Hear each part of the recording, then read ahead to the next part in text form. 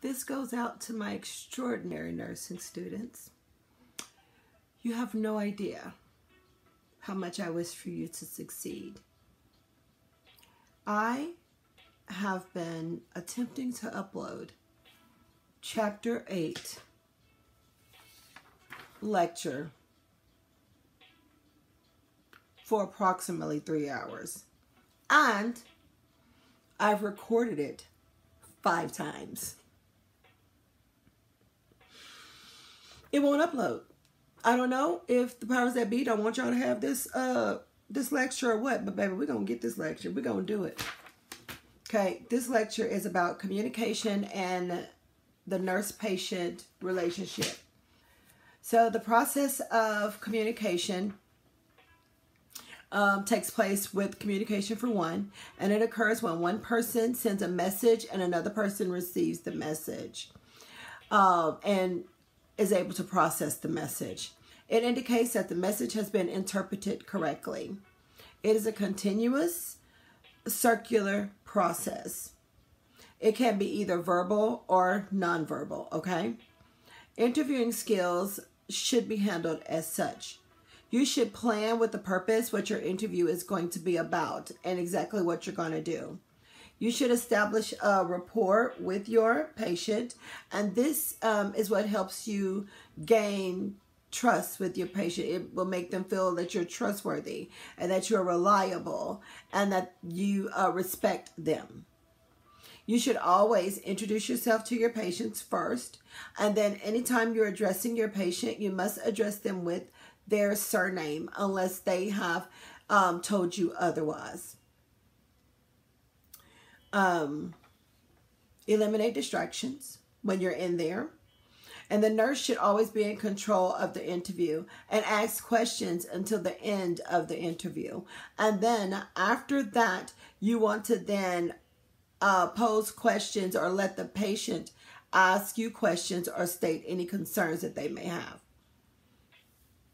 there will be a lot of questions that you will have to gather the data and um, first, such as what medications you're on and take time to go through all of those medications or herbal supplements. And then another thing that goes on during the communication process is sometimes you're going to have to appear unscathed because some patients will be embarrassed by some of the um, questions you ask, like when was your last bowel movement, or a question that could suggest, um, um, are you still sexually active? Those kind of things. Close-ended questions will be time savers for you. Then open-ended questions uh, about things like, um, so what brought you here to the hospital today? Those should come last to give them time to elaborate on those questions. Now, let's talk about within the communication process. You have verbal communication and nonverbal communication. You also have communications by means of gestures, body postures, intonation, general appearance, and body language. Now, when we're talking about non-verbal, this shows more what a person is thinking and feeling. Nurses must watch for nonverbal cues with their patients. Verbal and nonverbal messages may be in conflict with each other, but please make note that they should coincide with each other. And when I say they conflict, what I'm basically saying is, is for example, you have a patient that's grabbing and holding their arm and seem very rigid um, every time you go to touch them. And then you say, are you having any pain? And their answer to you is no. That's where I mean when I say that the two messages conflict. Nonverbal language communicates just as much as verbal ones do uh, observations of your patient and yourself with nonverbal communication is very important. Now, when I say and yourself, what I'm saying is, is when you are communicating um, with your patients, if you have your arms crossed or if you are blankly staring at them, that is showing a nonverbal cue that you should not be intending. Now, please write this down, highlight it. If a patient uh, was to write an answer to one of your questions when during your interview. Is this considered nonverbal communication or verbal communication? Now, the answer to that question is it is is it is verbal communication. Now, let's talk about some non-verbal language. You should use cues to nonverbal expressions. You should look for those, such as grimacing when touched, uh, rigid body posture, slow movement, or holding or guarding a body part that can mean pain.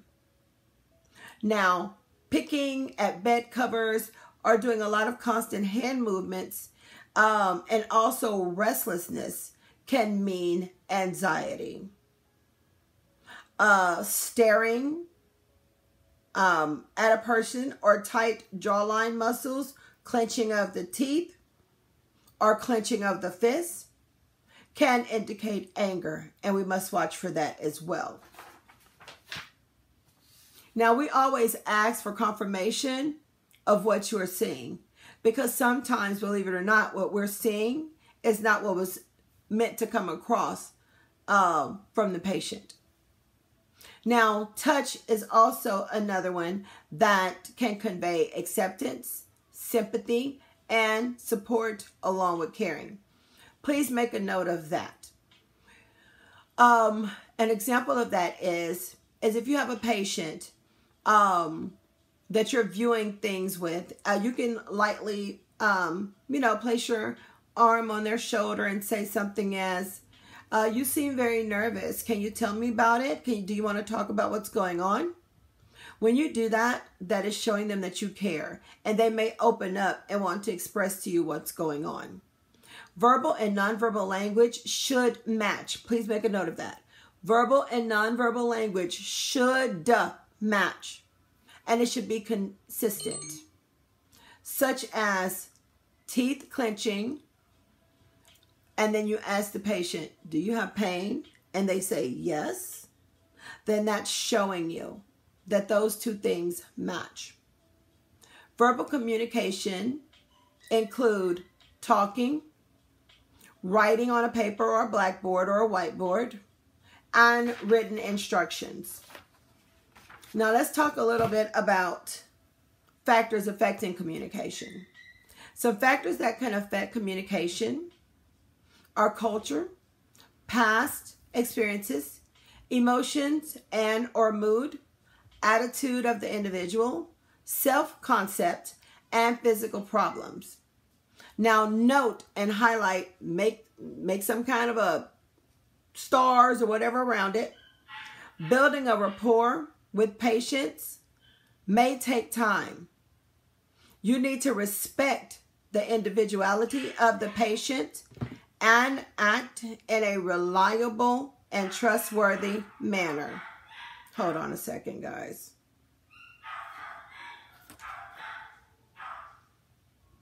My dog is barking.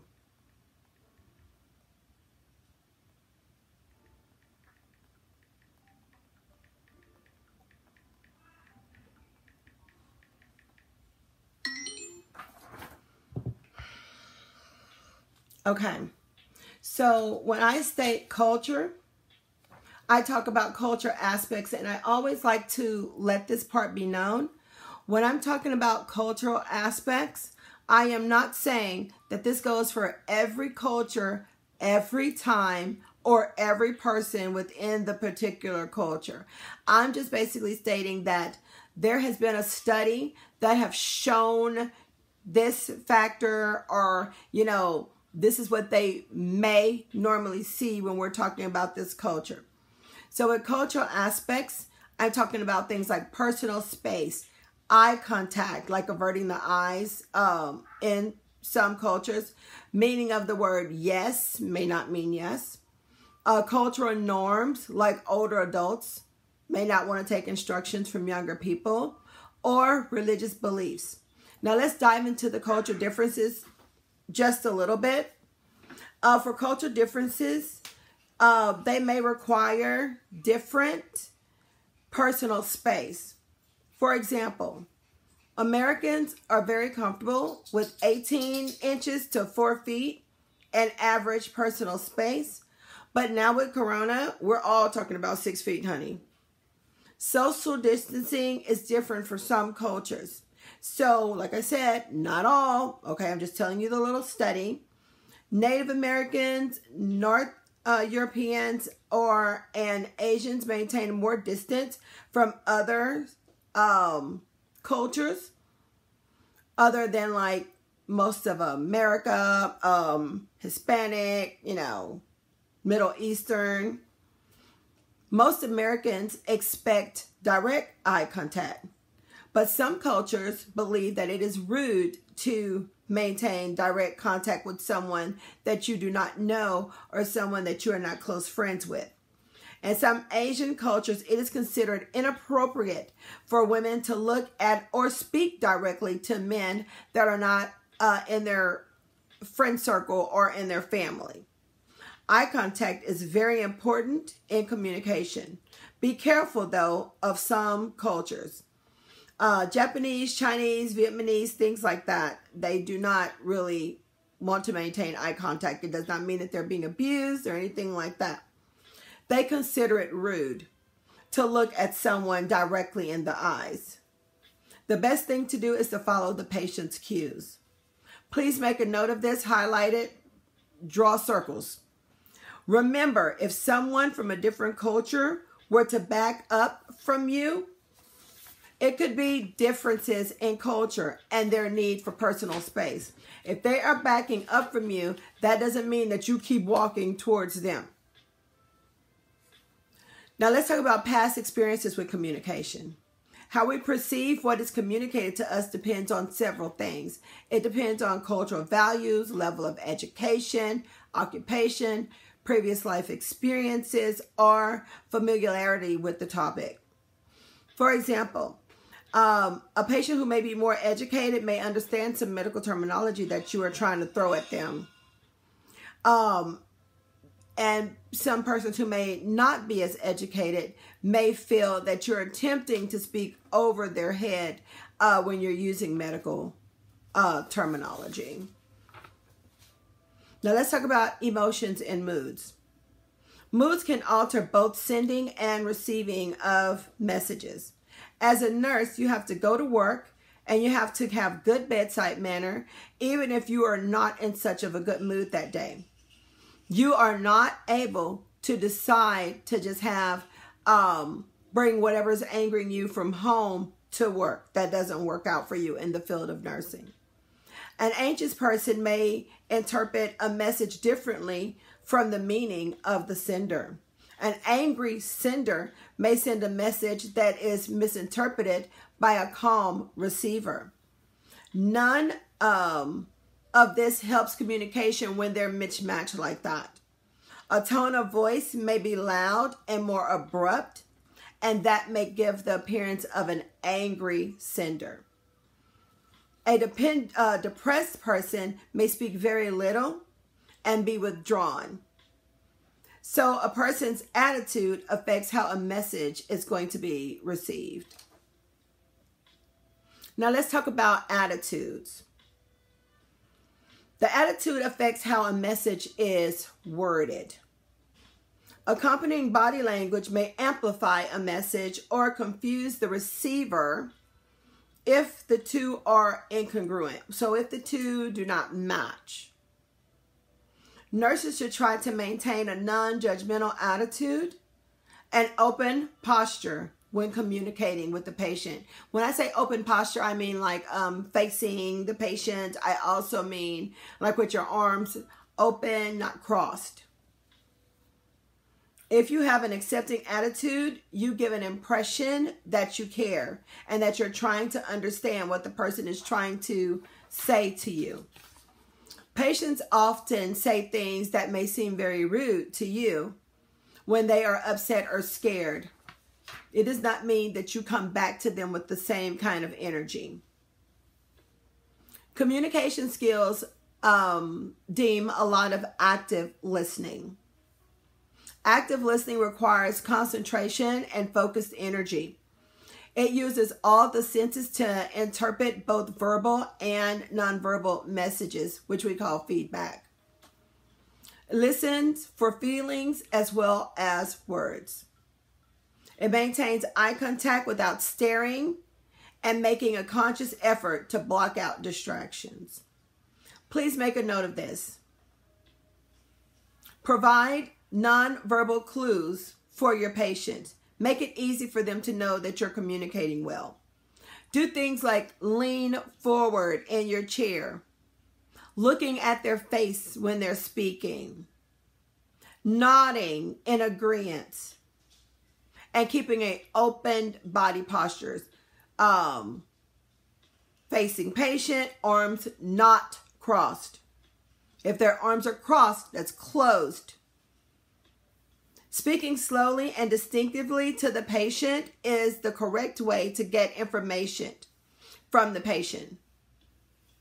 You can ask for the patient uh, permission if you can speak to someone in their room, like a family member or a friend, to get information if they are struggling with things like if they've had a stroke, if they have shortness of breath, things like that. But if you um, are going to speak to the family members after they give you permission to do so, you still must direct the questions to the patient. Do not ignore the patient or talk around them at all. Now let's talk about interpreting nonverbal feedback. Observe for the posture, the gesture, the uh, tone, facial expressions, smiling, frowning, and eye contact. For your feedback, it is important, it's an important part of effective communication. It verifies that the message was received the way that you intended to send it. It accomplishes um, a lot of things. You can paraphrase or restate the message to make sure that it is received. Now let's talk about focusing. Focusing is communication, um, a communication, um, uh, a way to kind of understand if the communication is getting where you need it to go. The communication may wander. That's one example from the main topic that you intended and you need to focus the concentration back. Good communicate communicators can refocus the conversation by returning to the topic of the discussion without uh, the patient even missing a beat. Frequent feedback is also what we need to do to keep the conversation focused. Don't be afraid to say, I think we need to talk about blah, blah, blah, Mr. Smith. But as soon as we're done talking about blah, blah, blah, we could talk about this other matter that you really want to talk to me about because I really want to hear it. Now let's talk about adjusting styles. Communication should be adjusted to the patient's style and the patient's speed. If the patient communicates slowly, allow them more time to interpret and respond to what you're saying. For an anxious patient, keep the information simple and convey only as much information as a time as you need to because we do not want to overwhelm them. Now let's move on and talk about therapeutic communication techniques. There are several and I'm going to name them, but then there's a few that I really want to spend a little time on. We have promoting communication between sender and receiver, obtaining feedback, focusing on the communicator, using silence, using open-ended questions, restating a message, and using therapeutic touch and clarifying. Now, please make note of table 8-1 for communication uh, therapeutic techniques. You must know that. You must know that chart. Now, let's talk about clarifying just a little bit. With clarifying, you are telling the patient what your perception of what they are saying is. For example, the patient may say, My daughter hasn't come to see me in a week. And the patient may have a very disappointed look on their face as well. You should clarify this by saying, So you're upset that your patient hasn't come to see you in a week? And she may then say, No, I'm just worried that she is not being taken care of. Now, by you doing that simple clarification, you have figured out that she was not disappointed, she was worried. Then you could help the patient find reassurance that their daughter is being taken care of. And now you can help them with that worry. Now let's talk about restating. Restating the message encourages the patient to continue on with the topic. If the patient states, I'm not hungry, the nurse repeats, You're not hungry right now. That is restating. The patient may say to you, No, I'm just not hungry. Or they may say, No, I just don't want to eat right now. There's two whole different things. If they say, No, I'm just not hungry, you might want to see what's going on with their appetite. If they just say, Oh, well, no, I'm just not hungry right now, then you know they will eat, but they will eat later. Touch indicates caring and therapeutic for most patients. Okay, and when we talk about general leads, general leads are questions that cannot be answered with yes or no answers. For example, if I say to Miss Smith, Hey, Miss Smith, how are you doing today? Tell me how your day went yesterday since I didn't see you. That's an open ended question and gives her a chance to elaborate. Another thing that we do is offering self to the patient and being available will create a trusting relationship between you and your patient. Do not make any promises that you cannot keep. For example, we do not say things like, I will be back in 30 minutes, and then don't return in 30 minutes. You never know what could happen. Now let's talk about silence. Silence is something that it's hard for nurses to understand that's very needed to do because we're nurses, right? We want to fix it. We want to figure it out. We want to fix it. But silence sometimes is what patients need. It gives the person a chance to think and respond when we're being silent. We're thinking before we respond. And often it's the best response when someone is upset and crying. They sometimes just need someone to sit there and to be silent and to listen. Now let's talk about therapeutic communication techniques like giving general leads, giving information, encouraging um, elaboration, and looking at alternatives and summarizing. Offering self and encouraging elaboration is super important to therapeutic communication. Now we're going to flip it and talk about roadblocks for effective communication. Now, please note in the book, there's a section that says blocks to effective communication. Please read that. Please know them and know the difference between them. Now, let's talk about one roadblock that um, is changing the subject. This indicates discomfort with the subject at hand. It also shows that you are avoiding listening to the patient's concern. What this says to the patient is that you don't have time to listen to their story, and we don't want to convey that. Another block is offering false assurance, saying things like, Oh, it'll be okay. Don't worry about it. You must be realistic and not false. Even though you want everything for them to be okay and for them to not worry about it. You say that to make them feel better, but then you've given them some false thought. Another block is giving advice. Giving advice focuses on you rather than the patient.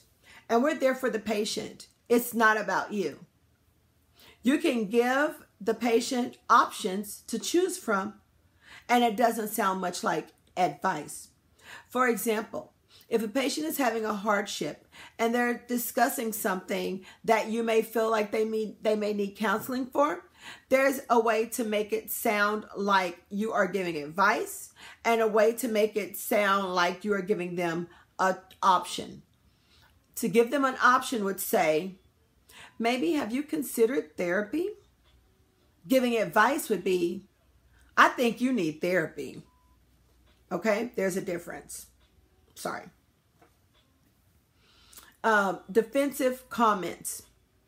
Our role is to help the patient to not, um, our role is to help the patient, but to not make them defensive. We must acknowledge their feelings and listen to their concerns. An example of this is if you have a patient that says, You're late.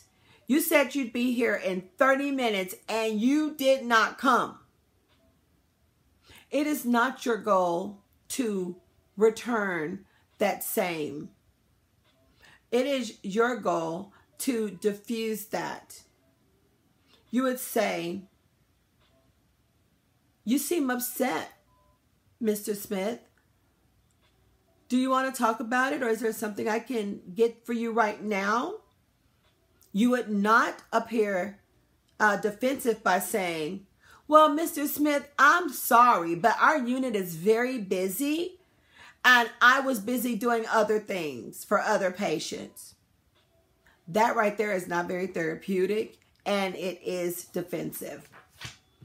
Now let's talk about a few others like uh, prying or uh, probing. Now I see this done sometime when we're when you're not even interviewing anymore. Now you're just probing. Now you're just being nosy. If you say to a patient, um, and and by the way, this can make a patient very defensive. When you say to a patient something like, "Well, how much money do you make?" That has nothing to do with your care for that patient at all. Or if a patient comes to the hospital because they're injured, and you say to the patient, Well, why were you doing that? Did you not know that you were going to get hurt? That's prying and probing. Another one that's a block in communication is using cliches. Cliches are so overused. I use cliches when I'm talking to people, but I never use cliches when I'm talking to patients. And when I say cliches, I mean you're saying things um, that have no uh, validness to the situation. Like, there will be a light at the end of the tunnel. What is that going to do?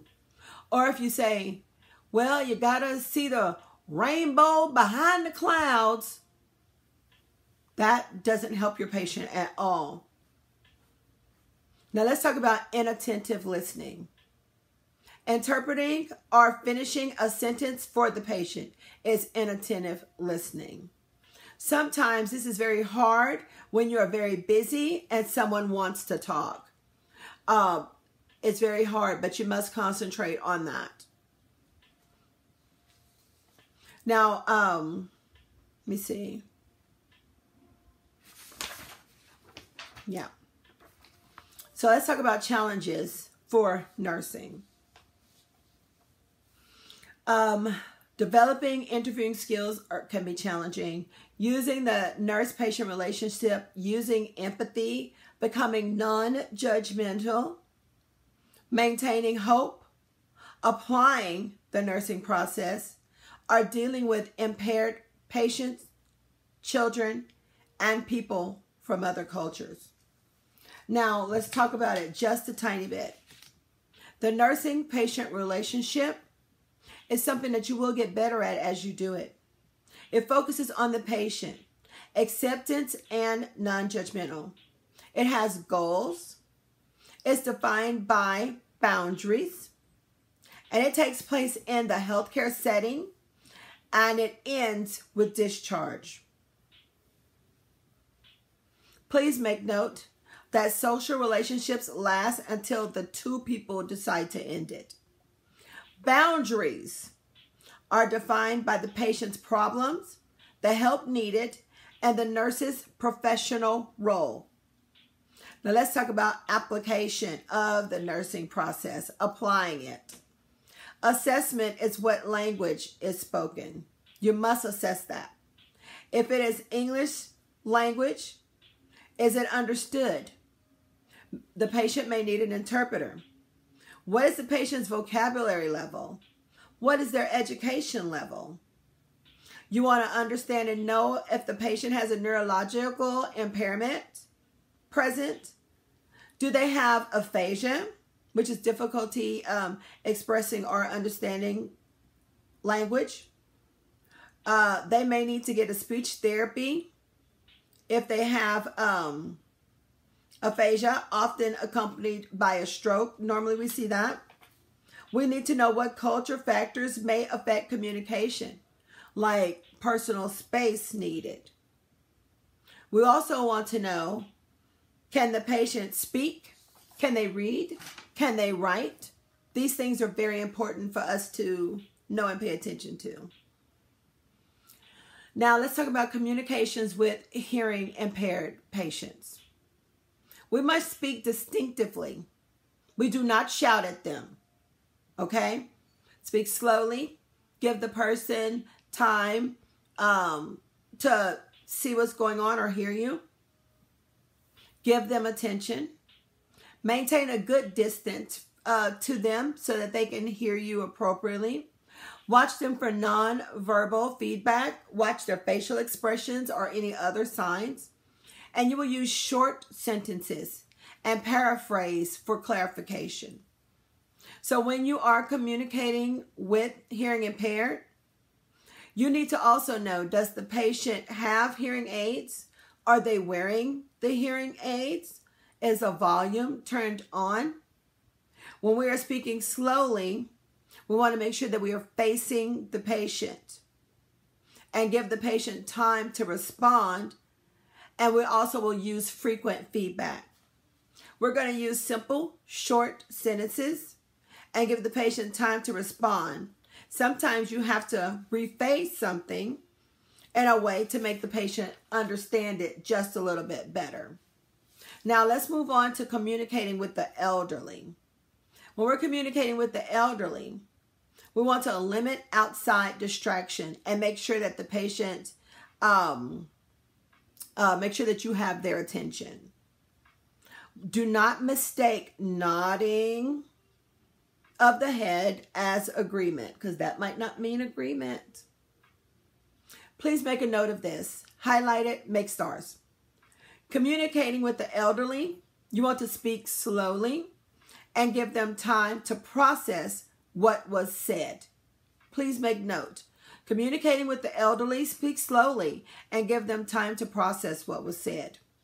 Another thing when we're communicating with the elderly is to try to introduce ideas one at a time. Do not overload them with all the information because they may become overwhelmed and then cannot decipher what you are saying. Now, communicating with children. You want to approach them at eye level. Use a calm and friendly voice. Keep the mother in the room when possible. Use short sentences. Give examples or explanations or even demonstrate. Allow the child to handle all equipment that is safe for them to handle. When communicating, we say get down to eye level because it can be very overwhelming when somebody so big is towering above them um, and it could make them feel fearful. Avoid sudden movements because they're really watching you because they don't know what's going to happen. Children are very sensitive to nonverbal messages. When you're communicating with an infant, try to keep the mother right in view for that baby to see her. For toddlers and preschoolers, use short, simple sentences and concrete explanation. For school age children, short and simple explanations and also allow the child to handle equipment that is safe for them to handle. Always be honest and tell the truth. We never tell a child a tale like, oh, it's time to take your candy. That's how overdoses happen with meds because then someone has told them that it was candy. Um, and then we never say that a procedure is not going to hurt. Um, this won't hurt. Then every time somebody comes in to do a procedure, even if it's something that's not going to hurt, they're going to be fearful of it. So you must be honest. If you're going to give them a shot, be honest. Say, okay, this is going to pinch for a bit, but it'll be over really soon.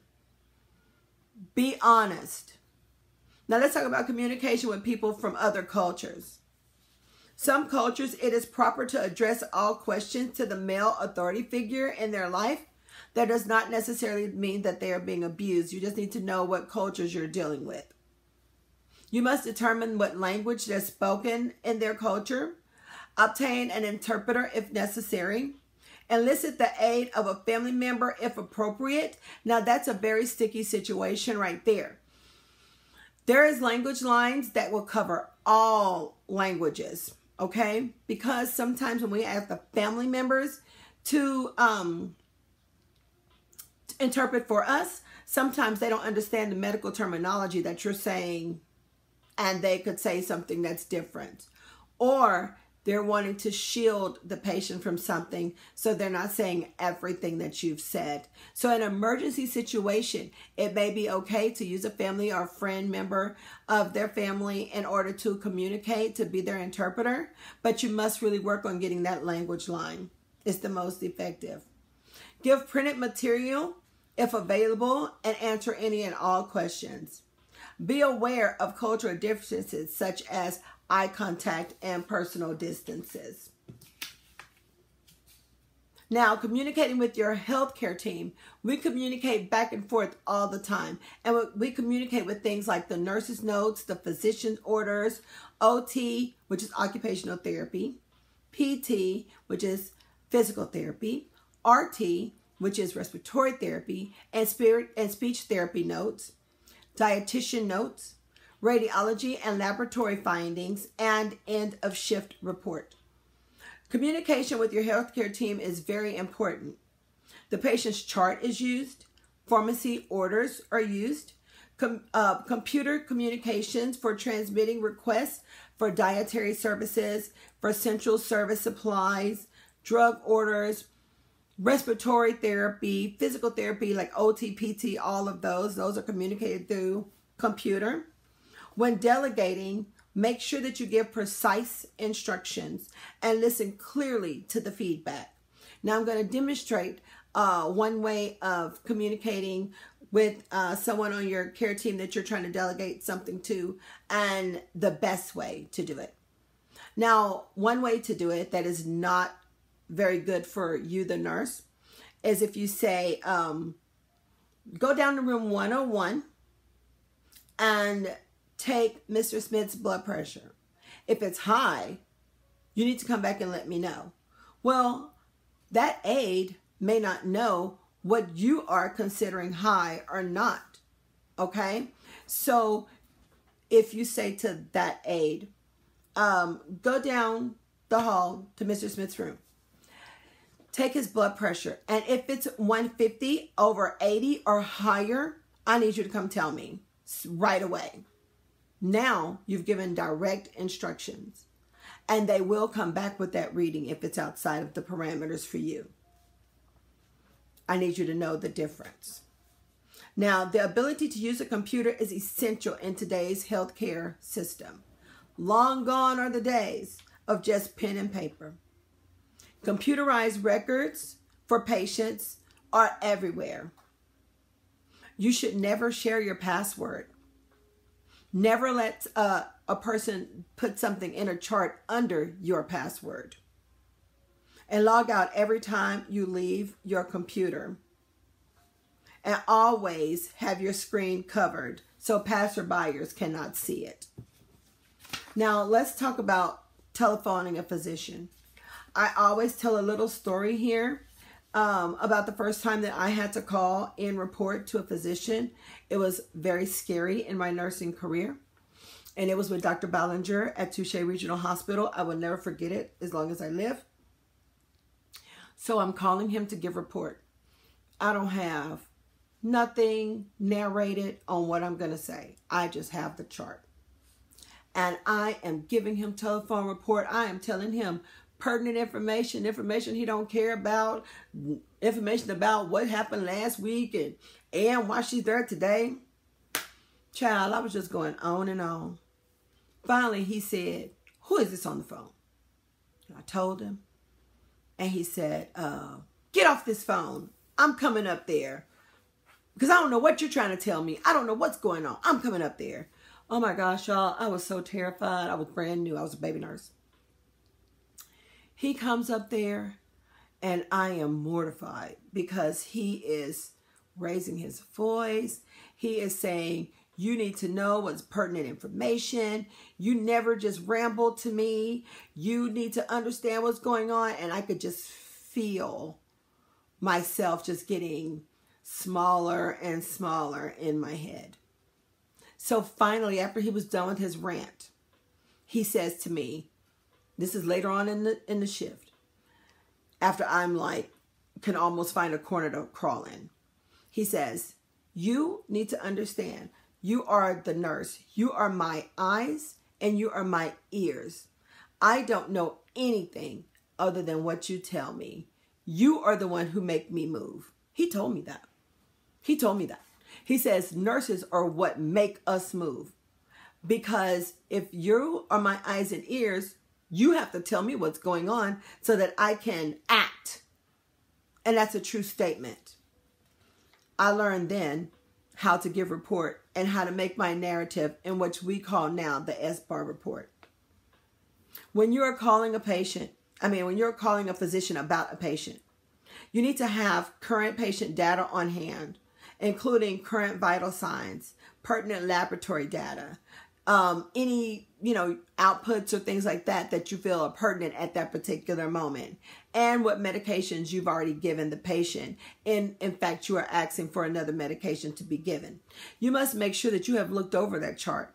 You have looked over those meds so that you know what you can already give without calling them about something that they have already addressed. Keep the chart handy and anticipate the information that your physician may request you must know the patient's allergies and perform a quick assessment before calling that physician. Prepare a concise problem statement and the reasoning of why you are calling. Document the call and the physician's response in your nurse's notes. Please make note of this, highlight this. Student nurses should never, ever, in the town of ever, take a telephone order or a verbal order from a doctor.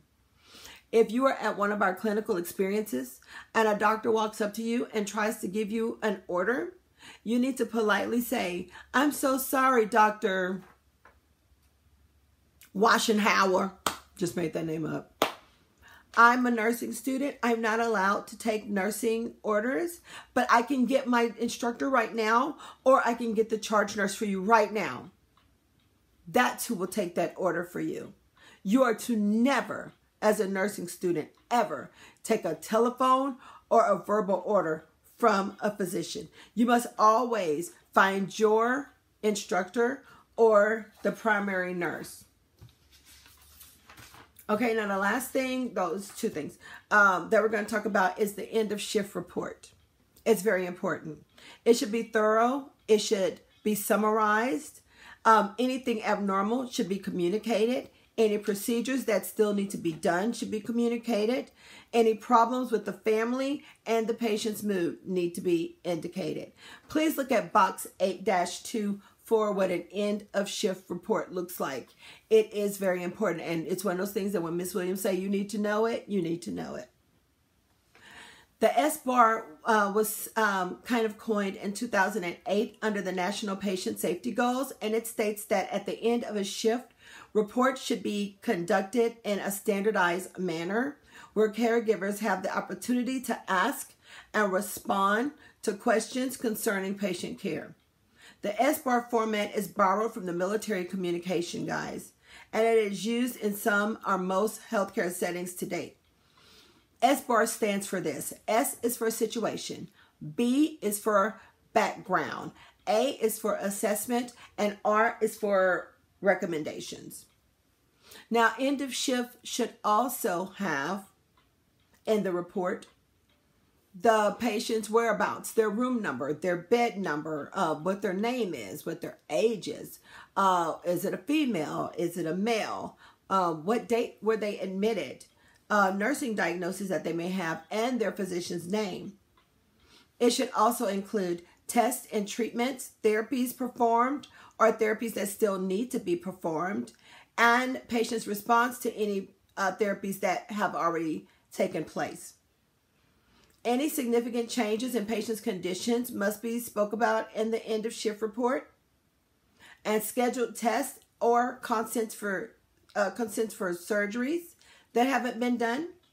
IV flow rates, what the solution is, if there are any additives in it, and any amount remaining in your bags so that they'll know if they need to hang one right away must be discussed in end of shift report.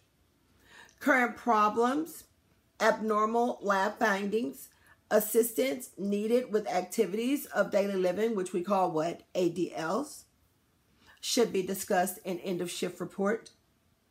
Any schedule and or needed PRN therapies need to be discussed.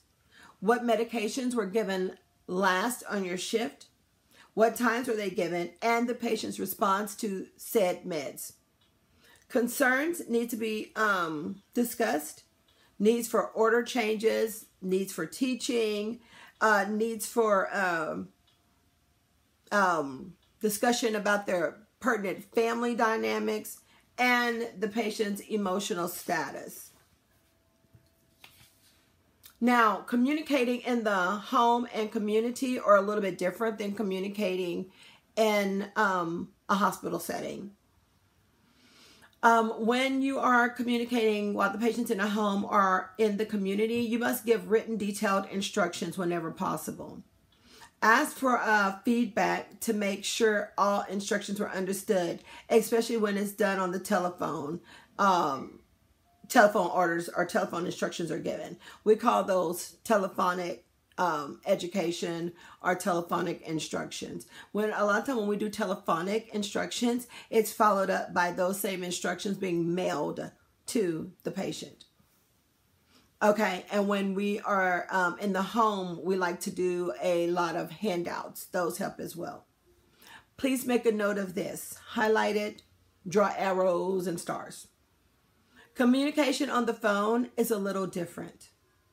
If an office nurse is teaching something over the phone, why do you think she asked the patient to repeat what she has said to them? And the reason for that is because the nurse wants to verify that the patient has understood exactly what they said. Okay? So by asking them to restate, you're just basically asking them to clarify um, so that you know that they understood exactly what you said. So guys, that's the end of chapter 8 again.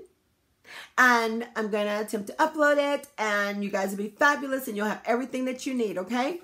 Bye.